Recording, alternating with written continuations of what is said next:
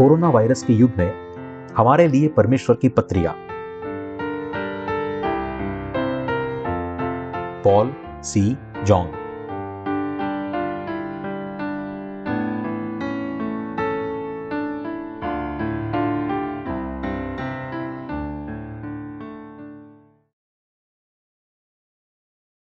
हम इस संसार के नहीं, बल्कि स्वर्ग के हैं।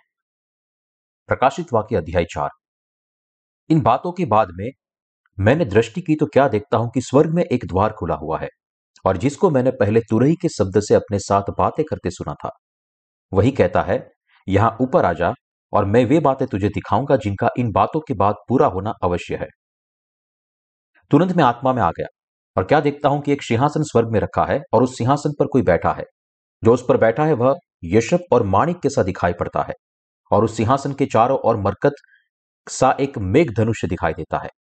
उस सिंहासन के चारों ओर चौबीस सिंहासन हैं और इन सिंहासनों पर चौबीस प्राचीन श्वेत वस्त्र पहने हुए बैठे हैं और उनके सिरों पर सोने के मुकुट है। उस सिंहासन में से बिजलियाँ और गर्जन निकलते हैं और सिंहासन के सामने आग के साथ दीपक जल रहे हैं। वे परमेश्वर की सात आत्माएँ हैं और उन सिंहासन के सामने मानो बिल्लौर के समान कांच का सा समुद्र है। सिंहासन के बीच में और सिंहासन के चारों और चार प्राणी है जिनके आगे पीछे आँखें ही आँखें हैं। पहला प्राणी सिंह के समान है। दूसरा प्राणी बछड़े के समान है। तीसरे प्राणी का मुँह मनुष्य का सा है और चौथा प्राणी उड़ते हुए उकाब के समान है। चारों प्राणियों के छह छह पंख है और चारों और भीतर आँखें ही आँखें हैं। और वे रात दिन बिना विश्राम लिए यह कहते रहते हैं, पवित्र पवित्र पवित्र, प्रभु परमेश्वर सर्वशक्तिमान, जो था और जो है और जो आने वाला है। जब वे प्राणी उसकी जो सिंहासन पर बैठा है और जो युगानुयुग जीवता है, महिमा और आदर और धन्यवाद करेंगे तब चौबीसों प्राणी सिंहासन पर बैठने वाले के सामने गिर पड़ेंगे और उसे जो युगानुयुग जीवता है प्रणाम करेंगे और वे अपने अपने मुकुट सिंहासन के सामने यह कहते हुए डाल देंगे, हे हमारे प्रभु और परमेश्वर, तू ही महिमा और आदर और सामर्थ्य के योग्य है, क्योंकि तू ही ने सब वस्तुएँ सृजी हैं और तेरी ही इच्छा से ये सब कुछ उत्पन्न हुआ। मैंने सुना है कि हाल ही में हमारी वेबसाइट पर आने वाले लोग हमारी कई दोहरी भाषा वाली ई पुस्तकों को डाउनलोड कर रहे हैं। वे हमने पहली बार दोहरी भाषा की किताबें पेश की थी तो उन्हें डाउनलोड करने वाले कम से कम दो लोग थे। लेकिन मुझे यह सुनकर खुशी हुई कि कल ही चौदह लोगों ने उन्हें डाउनलोड किया। दुनिया भर के देशों की अपनी अनूठी भाषाएँ हैं, और हम दोहरी भाषा की किताब एक साथ रखते हैं ताकि लोग एक ही समय में दो भाषाओं के बीच के पाठ की तुलना करते हुए उन्हें पढ़ सके। चूँकि ये किताबें दुनिया भर के लोगों के बीच बहुत लोकप्रिय हैं, इसलिए मैं चाहता हूँ कि आगे आने वाले दिनों में हम और भी अधिक दोहरी भाषा की किताबें प्रकाशित करें। वास्तव में दुनिया में बहुत से ऐसे लोग हैं जो दो या दो से अधिक भाषाओं का उपयोग करते हैं। कई देश ऐसे भी हैं जहाँ एक ही परिवार के बच्चे और माता पिता अलग अलग भाषाएँ बोलते हैं। इसलिए मुझे लगता है कि ऐसे परिवारों के लिए हमारी दोहरी भाषा की ई पुस्तकें बहुत मददगार होंगी। जितना अधिक हम दोहरी भाषा की ई पुस्तकें प्रकाशित करते हैं, उतने ही अधिक लोग उन्हें डाउनलोड करेंगे और जितना अधिक उनकी आत्माएँ समृद्ध होगी, वे पानी और आत्मा के सुसमाचार के लिए धन्यवाद होंगे। मैं यहाँ हर महीने की बात नहीं करता। लेकिन कुछ लोगों ने दर्जनों ई किताबें डाउनलोड की है। इसलिए मुझे बहुत उम्मीदें हैं। आखिर ये लोग हमारी ई पुस्तकें डाउनलोड करके क्या करेंगे? वे इन्हें कहीं और लोगों के साथ साझा करेंगे। फिर वे लोग भी अपने हृदय को परिवर्तित होते हुए देखेंगे। इसलिए हमें और भी कठिन परिश्रम करते हैं। प्रभु को उसके नेक कार्य के लिए धन्यवाद देते हैं। हमने अभी प्रकाशित वाक्य अध्याय चार की संपूर्णता को पढ़ा है। कुछ समय पहले प्रेरित युहन्ना ने एशिया की सात कलिसियाओं के लिए जो संदेश लिखा था, उसे साझा करने के लिए हमें आशीष मिली थी। प्रेरित युहन्ना जिसने प्रकाशित वाक्य की पुस्तक लिखी, वह यीशु का चेला है, जिसने युहन्ना का सुसमाचार, चार विहित सुसमाचारों में से एक और युहन्ना एक, दो और तीन को भी लिखा। वह यीशु का सबसे प्रिय शिष्य था और अपने जीवन के अंत में उसे रोमन सम्राट द्वारा सताया गया और पतमुस द्वीप में निर्वासित कर दिया गया। क्योंकि प्रेरित युहन्ना की मातृभूमि इसराइल पर उस समय रोम का शासन था, इसलिए उन लोगों के लिए जो रोमन साम्राज्य की अवहेलना करते थे, कैद होना और पीड़ा सहना काफ़ी सामान्य था। प्रेरित युहन्ना ने सम्राट की आराधना में भाग लेने से इनकार करके रोम की अवहेलना की और इसलिए रोमन अधिकारियों ने उसे पतमुस द्वीप पर निर्वासित कर दिया और उसे वहाँ एक कैदी बना लिया। लेकिन पतमुस द्वीप में निर्वासित होने के दौरान प्रेरित युहन्ना यीशु के साथ एक गहरी संगति साझा करने में सक्षम रहा। और इसलिए यह पीड़ा उसके लिए एक आशीष थी और यहीं पर उसने प्रकाशित वाक्य की पुस्तक लिखी। इस द्वीप पर परमेश्वर ने प्रेरित युहन्ना को दिखाया कि मन भविष्य में क्या होगा। इसी तरह जबकि धर्मी भी समय समय पर कठिनाई का सामना करते हैं, परमेश्वर यह सुनिश्चित करने के लिए सभी चीज़ों में कार्य करता है कि वे इस कठिनाई से आशीषित हो। यह परमेश्वर के विधान से है कि प्रेरित युहन्ना को दिखाया गया परमेश्वर का प्रकाशित वाक्य आज हम तक पहुँचाया गया है। जब हम प्रेरित यूहन्ना की पृष्ठभूमि की स्पष्ट समझ के साथ उसके लिखे गए प्रकाशित वाक्य को पढ़ते हैं तो हमें यह जानकर निश्चित हो सकते हैं कि परमेश्वर हमारी अगुवाई कैसे करेगा। और हम जो कष्ट सहते हैं, वह हमें प्रभु का अनुसरण करने में और भी अधिक मदद करता है। और मैं वे बातें तुझे दिखाऊँगा जिनका पूरा होना अवश्य है। पद्मुस द्वीप पर प्रेरित यूहन्ना को दिखाया गया दुनिया कैसे बदल जाएगी? अपने वर्ग निर्वासन से थके हुए प्रेरित यूहन्ना परमेश्वर से प्रार्थना कर रहे थे। और प्रार्थना करते समय वह परमेश्वर की आत्मा के नेतृत्व में थे और स्वर्ग के प्रकाशित वाक्य को सुनने और देखने में सक्षम हुए। यह लिखा है, और मैं तुम्हें वे बातें दिखाऊँगा जिनका इन बातों के बाद पूरा होना अवश्य है। प्रकाशित वाक्य अध्याय चार वचन एक।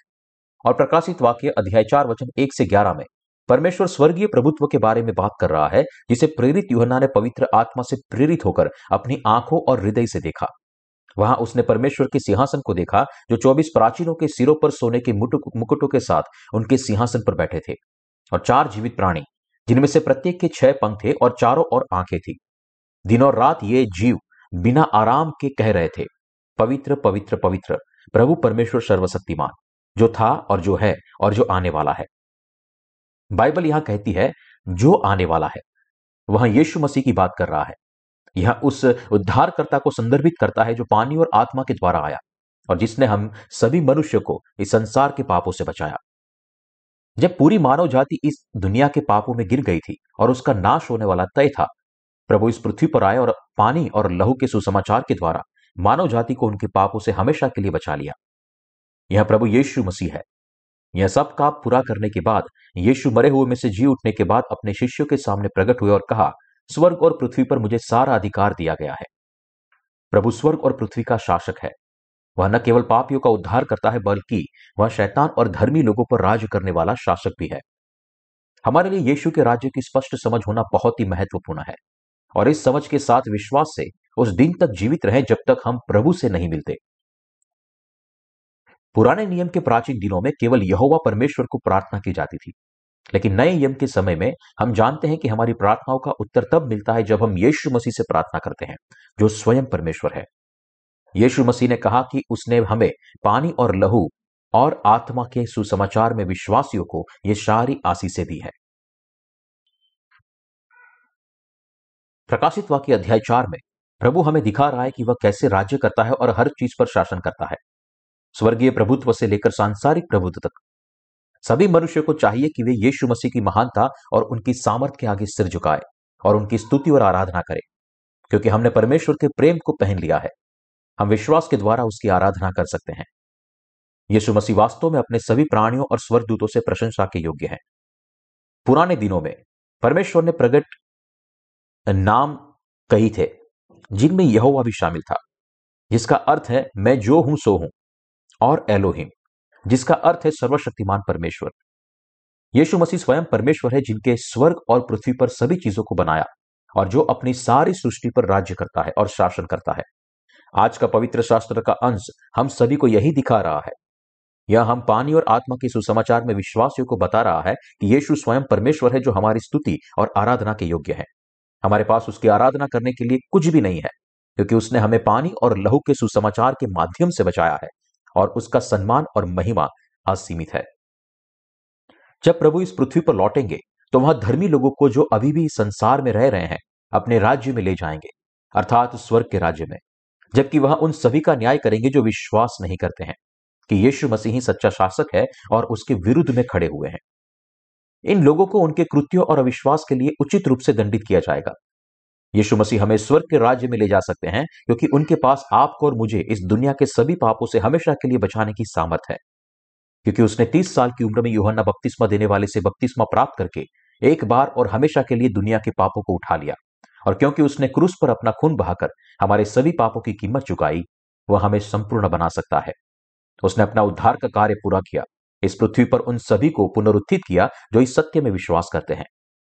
अब हमारे प्रभु यीशु मसीह अपने स्वर्गीय सिंहासन पर बैठे हैं और अपने सभी लोगों के लिए स्वर्ग के राज्य को तैयार करते हुए हमारी प्रतीक्षा कर रहे हैं। यीशु स्वर्ग और पृथ्वी पर सभी चीज़ों का शासक है और वह स्वर्ग और पृथ्वी का प्रभु है। यीशु मसीह न केवल मानव जाति का उद्धार करता है, बल्कि वह स्वयं सच्चा परमेश्वर भी है, जिसे सभी विश्वासियों के सम्मान और महिमा प्राप्त करनी है। हमें विश्वास करना चाहिए कि यीशु ही हमारा सच्चा शासक है। पानी और आत्मा के सुसमाचार में विश्वासियों के द्वारा यीशु मसीह की महिमा करना ही उचित है, क्योंकि उसने हमारे लिए इस पृथ्वी पर परमेश्वर का धर्मी कार्य किया है।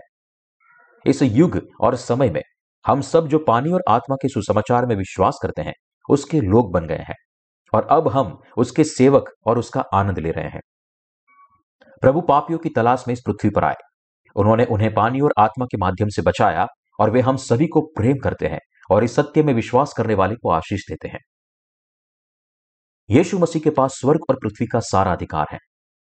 जैसे जैसे अंत निकट आता है, आपको और मेरे लिए यीशु मसीह हमारे सच्चे शासक और स्वयं परमेश्वर के बारे में उचित ज्ञान होना और उस पर भरोसा करना और विश्वास से उसका अनुसरण करना नितांत आवश्यक है। इसलिए हम सभी को इस परमेश्वर से प्रार्थना करनी चाहिए। हमें शांति से रहना चाहिए, अपना सब कुछ हमारे शासक यीशु मसीह को सौंप देना चाहिए।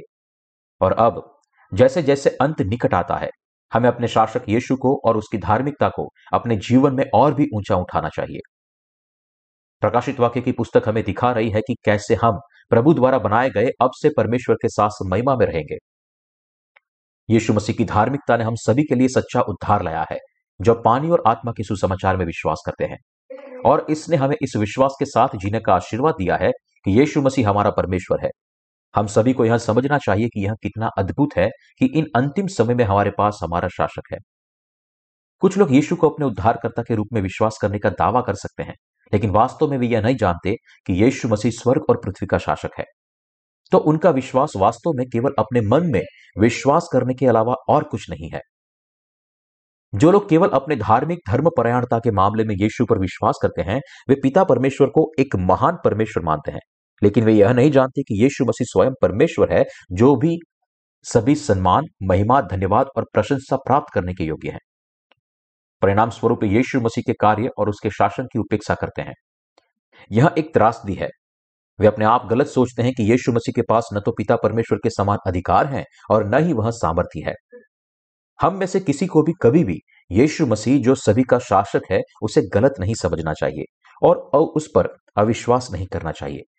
हमें कभी भी खुद को ऐसी गंभीर गलती नहीं करने देना चाहिए। इसलिए हमें यह पहचानना चाहिए कि यीशु मसीह, जो पानी और आत्मा के सुसमाचार के द्वारा हमारे पास आए, हम सभी के लिए सच्चे शासक है। हमारे राजा, हमारे महायाजक और हमारे सच्चे पैगंबर। हमारे लिए यह समझना आवश्यक है कि इसका क्या अर्थ है, जब बाइबल कहती है, क्योंकि उसी की ओर से और उसी के द्वारा और उसी के लिए सब कुछ है। हमें यह समझना चाहिए कि इस परमेश्वर ने, जिसने स्वर्ग और पृथ्वी पर सब कुछ बनाया है, न केवल आपको और मुझे इस दुनिया के सभी पापों से एक बार और हमेशा के लिए पानी और आत्मा के सुसमाचार के माध्यम से बचाया है, बल्कि वह सच्चा परमेश्वर भी है हमें विश्वासियों के लिए। दूसरे शब्दों में, यीशु मसीह स्वर्ग और पृथ्वी का शासक है। परमेश्वर शासक उन लोगों के पापों का न्याय करेगा जो उसके अधिकार का तिरस्कार करते हैं। लेकिन वह उन्हें प्रतिफल देगा जो उसके अधिकार और सच्चाई का पालन करते हैं। दोनों नियमों में परमेश्वर ने सृष्टिकर्ता के रूप में हमसे बात की, जिसने ब्रह्मांड में सभी चीज़ों को बनाया और उसने हमें दिखाया कि प्रभु न्यायी और शासक है, जो पतित स्वर्गदूतों के पापों की निंदा करेंगे। क्योंकि शासक धर्मी और न्यायी है, परमेश्वर ने हमें यह भी दिखाया है कि वह उन लोगों के पापों का न्याय करेगा, जो उसकी दया नहीं चाहते हैं। ऐसे धर्मी परमेश्वर ने हमें, जो केवल नीच और नीच प्राणी है संसार के सभी पापों से सदा के लिए बचाया है और यह सब परमेश्वर की महान दया के कारण है। इसलिए हम में से जो अब परमेश्वर की दया पर निर्भर हैं और पानी और आत्मा के सुसमाचार में विश्वास करते हैं, इस परमेश्वर को हमारा उद्धार करता और हमारा शासक कहते हैं। यीशु मसीह हम सभी के लिए सच्चे शासक और परमेश्वर है। इसलिए वह हमसे सारी महिमा प्राप्त करना चाहता है। हमें उनकी उम्मीदों पर खरा उतरना चाहिए। यीशु मसीह स्वयं परमेश्वर है जो हमारे द्वारा महिमा पाने के योग्य है, क्योंकि वही परमेश्वर है जिसने हमें संसार के पापों से बचाया है। यह परमेश्वर इस वर्तमान युग में भी हमारा शासक बना हुआ है। जब तक कि हम उनकी उपस्थिति में खड़े न हो, हमें उन सभी पापियों पर परमेश्वर की दया प्रकट करने के लिए अथक प्रयास करना चाहिए, जो इसके लिए तड़प रहे हैं। इस तरह यह विश्वास के द्वारा है कि जो लोग शासक के न्याय में विश्वास करते हैं, वे अपने जीवन में उसकी महिमा कर सकते हैं। जिस परमेश्वर पर हम विश्वास करते हैं वह न केवल अपनी धार्मिकता के विरुद्ध खड़े विरोधियों को परास्त करता चाहता है, बल्कि वह अपने दयालु प्रेम और न्याय से उन पर जय प्राप्त करना चाहता है। परमेश्वर चाहता है कि उसकी दया से पापियों का उद्धार हो। इसी कारण के लिए प्रकाशित वाक्य की किताब हमें बताती है कि यीशु मसीह स्वर्गदूतों और प्राचीनों द्वारा आराधना के योग्य है। ऐसा लिखा है कि तब चौबीसों प्राचीन सिंहासन पर बैठने वाले के सामने गिर पड़े और उसे जो युगानुयुग जीवता है, प्रणाम करेंगे।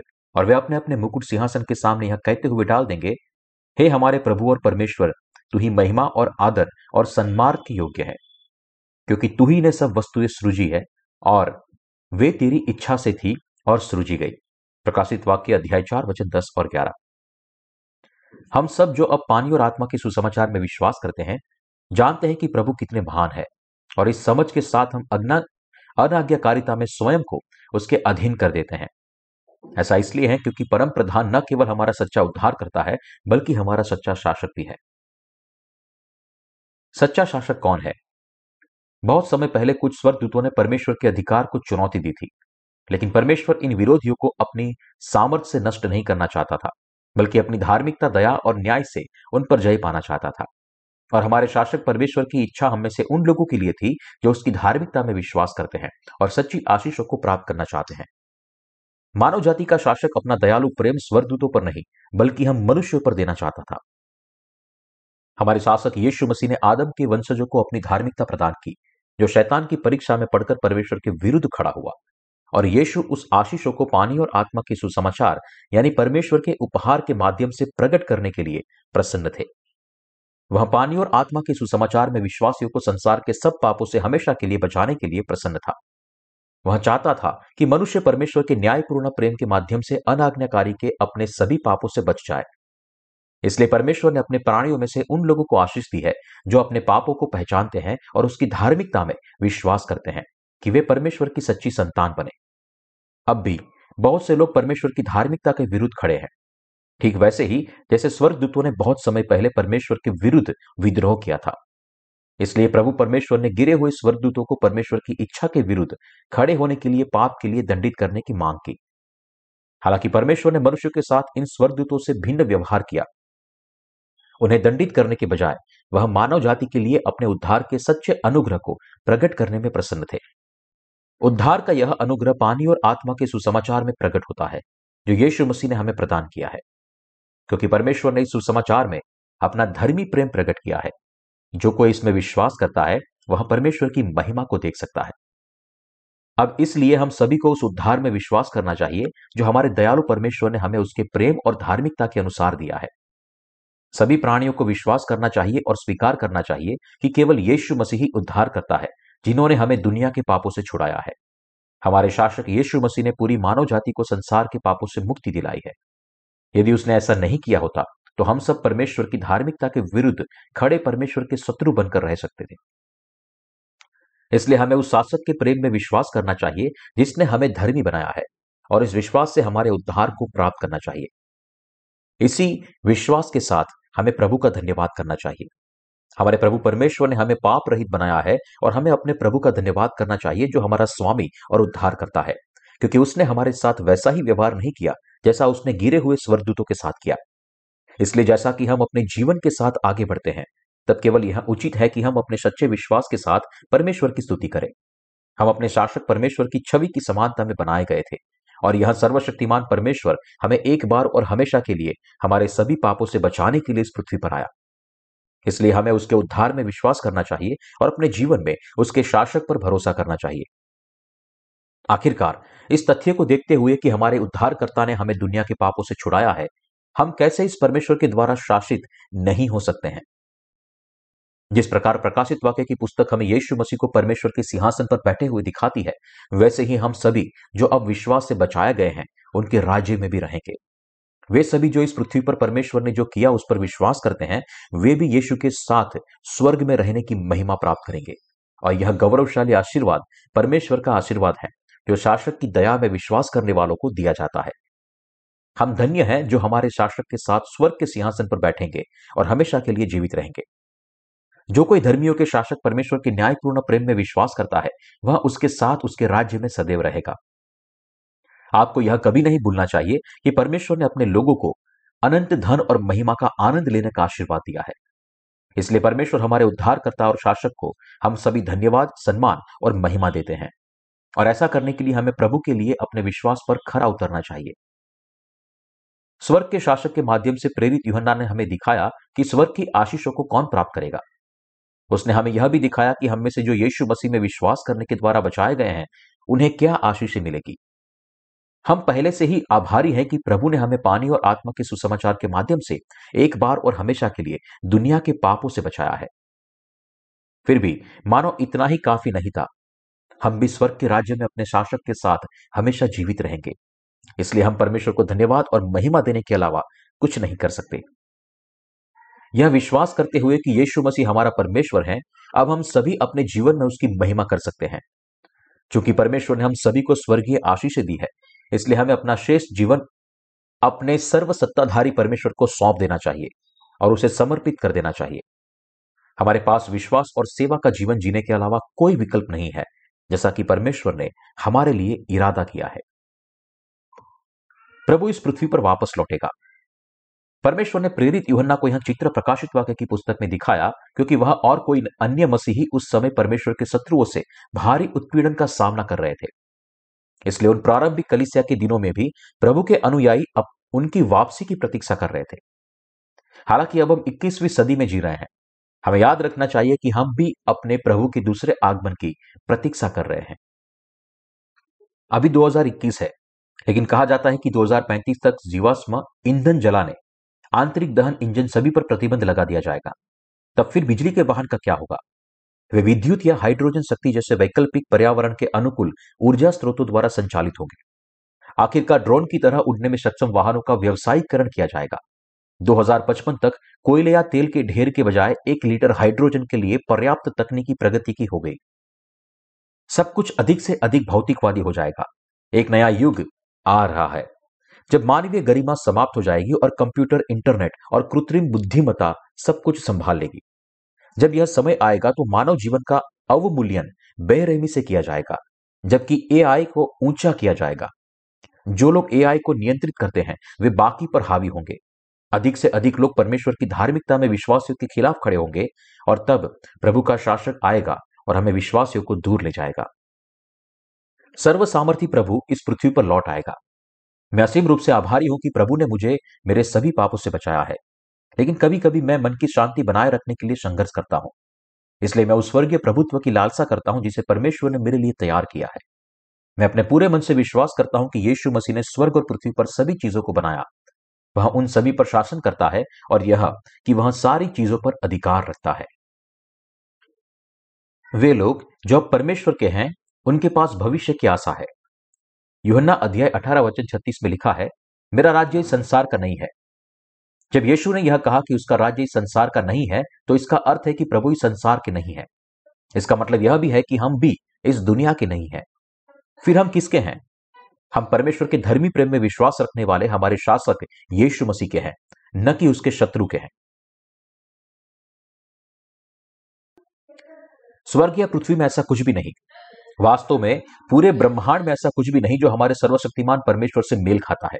जैसा कि परमेश्वर की प्रार्थना कहती है, हे हमारे पिता, तू जो स्वर्ग में है, तेरा नाम पवित्र माना जाए।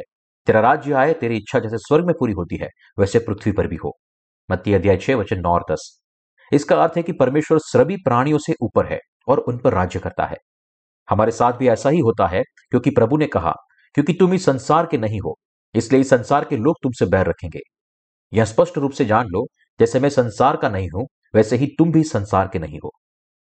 प्रभु ने हमसे यह भी कहा, यह जानकर कि तुम स्वर्ग के आत्मिक प्राणी हो, इस पृथ्वी पर परमेश्वर का विरोध करने वालों के विरुद्ध अपना आत्मिक रुख अपनाओ। प्रभु ने हमें विश्वास करने के लिए कहा कि वह शासक है जो हमें ले जाने के लिए आएगा।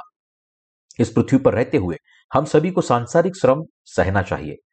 हमें इस धरती पर कब तक श्रम करने की आवश्यकता है? हमें ऐसा तब तक करने की आवश्यकता है जब तक कि हम पानी और आत्मा के समाचार से पूरी दुनिया में लोगों तक नहीं फैलाते। हम पानी और आत्मा के सुसमाचार में विश्वास करने वाले इस दुनिया के नहीं है। जो लोग प्रभु के हैं वे वही रहेंगे जहाँ हमारा प्रभु है क्योंकि उनमें कोई पाप नहीं है। जैसे प्रभु मरे हुए में से जी उठा वैसे ही हम भी मरे हुए में से जी उठेंगे। और जैसे प्रभु की महिमा होती है वैसे ही उसके साथ हम भी महिमा पाएँगे। आखिरकार हम पानी और आत्मा के सुसमाचार में विश्वासियों को स्वर्गदूतों द्वारा सेवा दी जाएगी। हमें ऐसी आशीषें ठीक इसलिए मिलेगी क्योंकि हम परमेश्वर की संतान है। इसी पल आपके हृदय में हमारे प्रभु परमेश्वर पर विश्वास होना चाहिए, क्योंकि हम इस संसार में रहते हुए भी शैतान के नहीं, परमेश्वर के हैं। जो अभी भी शैतान के हैं, उनके पास बिल्कुल कोई आशा नहीं है। जब यह संसार नष्ट हो जाएगा तो वे भी इसी तरह संसार के साथ नष्ट हो जाएँगे, जैसे परमेश्वर के विरुद्ध खड़े लोग नष्ट होते हैं। इसके विपरीत हम इस दुनिया के नहीं है। और इसके बजाय हमारे शासक यीशु मसीह के हैं, और इसलिए हमारे पास स्वर्ग के राज्य में प्रवेश करने और रहने की आशा है। इसलिए मैं आप सभी से यह समझने के लिए कहता हूँ कि हम वास्तव में कौन है। परमेश्वर के वचन में विश्वास से जिए और भरोसा करें कि जब यीशु मसीह हमारे शासक वापस लौटेंगे तो हम उनके राज्य में प्रवेश करेंगे। जैसा कि नए नियम में लिखा है, हम जाकर परमेश्वर की उपस्थिति में खड़े होंगे। हम धर्मी इस दुनिया में जी रहे हैं, और जब समय का अंत आ रहा है और क्लेश हमारे रास्ते में आता है। तो सत्य का वचन जिसे हमने अपने दैनिक जीवन में पढ़ा और सुना है, वह हमारी सामर्थ होगा, जो हमें अपने आत्मिक शत्रु से लड़ने और जीत हासिल करने के लिए शासक करेगा। क्योंकि हमारे शासक का वचन हम सभी के दिलों में काम करता है, जो पानी और आत्मा के सुसमाचार को विश्वास करते हैं। जब हमारे आत्मिक युद्ध करने का समय आता है तो हम अपने सभी दुश्मनों को हरा देंगे। यह जीत हमारे मुक्कों से लड़कर नहीं आएगी। इसके बजाय यहाँ परमेश्वर के वचन से हमारी विश्वास के द्वारा है कि हम पानी और आत्मा के सुसमाचार में धर्मी विश्वासी अपना स्थान बनाएँगे और शैतान और उसके सभी लोगों पर प्रबल होंगे।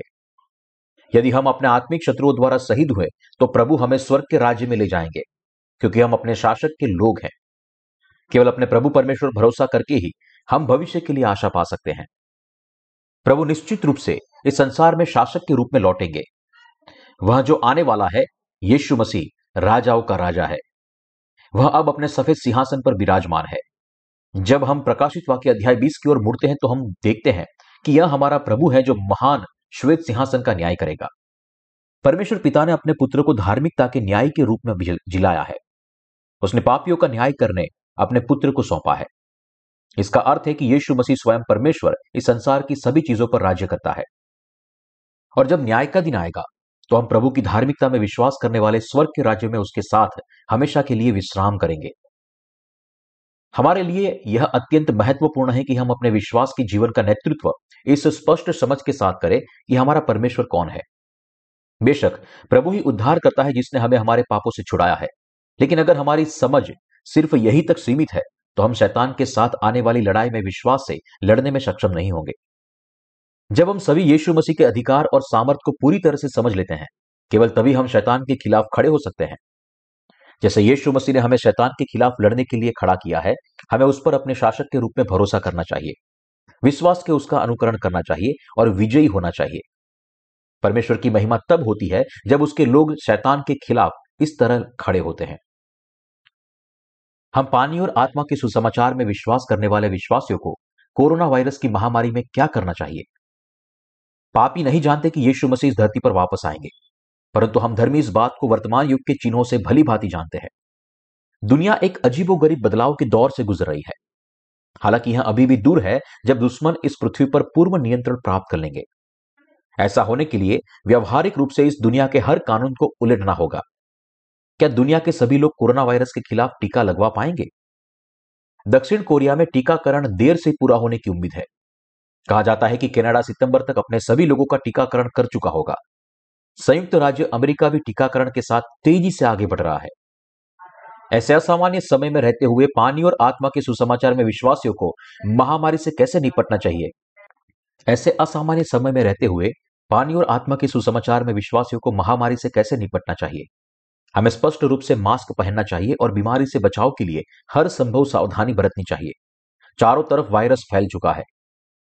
जब वायरस किसी व्यक्ति के शरीर में प्रवेश करता है तो वहाँ तीन दिनों तक बहुत सक्रिय रहता है। कुछ अन्य लोग में वायरस स्पष्ट रूप से निष्क्रिय रहता है। इसलिए हम विश्वासियों को भी बहुत सावधान रहना चाहिए।